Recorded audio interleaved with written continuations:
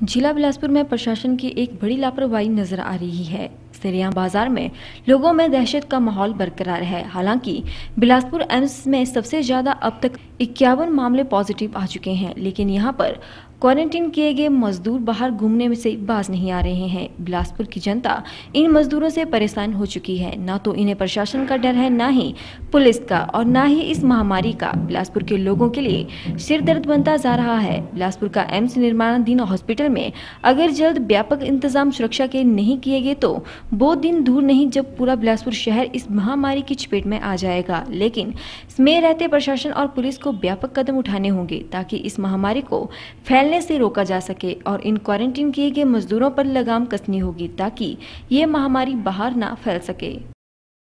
और मैं कोटपुर पंचायत का स्थायी निवासी हूँ। और मैं यहाँ अपना कुछ सामान परचेज करने के लिए आया था। तो यहाँ पर मैंने एम्स के कुछ मजदूर देखे कि वो मार्केट में खुलेआम घूम रहे थे। जबकि उनको ऊपर क्वारंटाइन किया हुआ है एम्स के एरिया में ही। और पूरे बिलासपुर में हमारे इतने केस नहीं आए जितने एम्स के अकेले एक कैंपस के आए हुए हैं।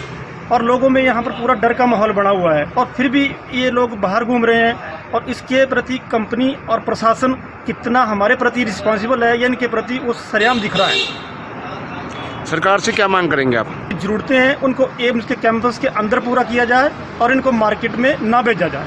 मैं प्रधान ग्राम पंचायत कोटपुरा जैसे कि हमें पता है कि यहाँ पे काफ़ी केसेज जो पॉजिटिव आए हुए हैं तो हमने जो था इसके बारे में डिस्ट्रिक्ट एडमिनिस्ट्रेशन को भी अवगत करा दिया था और यहाँ पर इस एरिया को कंटेनमेंट जोन घोषित किया हुआ है। लेकिन बावजूद कंटेनमेंट जोन घोषित होने के बावजूद भी काफ़ी संख्या में मजदूर जो है वो बाज़ार में घूमते नज़र आ रहे हैं, जिससे लोगों में एक भय का माहौल बना हुआ है। हमारी ये प्रार्थना है डी साहब से प्रार्थना है, पूरे एडमिनिस्ट्रेशन से हमारा रिक्वेस्ट रहेगी कि इस पर थोड़ी सी जो है वो सख्त कार्रवाई की जाए। अगर ये कंपनी के जिस कंपनी के मजदूर है कंपनी को सख्त निर्देश दिए जाएँ कि इस प्रकार की लापरवाही ना बरती जाए। और इस प्रकार की लापरवाही अगर बरती जाती है तो सीधे तौर पे जिस कंपनी के मजदूर है, जिसके ठेकेदार के उनके ऊपर सीधी कानूनी कार्रवाई की जाए।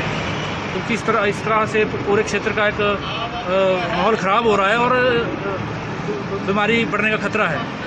ये मैं कहना चाहूँ